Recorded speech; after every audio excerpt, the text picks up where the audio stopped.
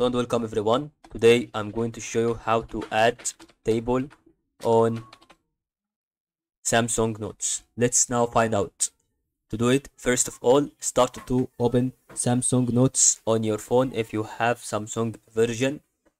Start to go through this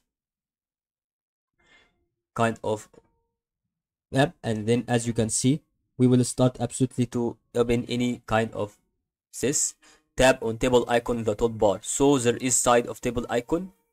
Select desired size of your table. So what we can do is just to scroll a lot on the button. And we have to start to see that is if they are about to have a side of table. So we can start to go back here and click on the ticket on the top. Now we have to add table. This is absolutely the table that i really recommend also you can start to add this by going through uh, going here and also you can start to choose a certain tables that you would like to start from by long press on this or long press on this. So you can start absolutely to add table like one two three.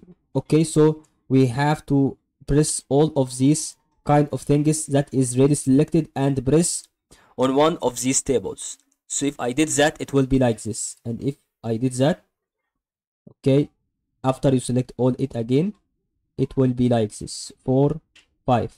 So almost that is all guys to help you today. And thank you for watching this video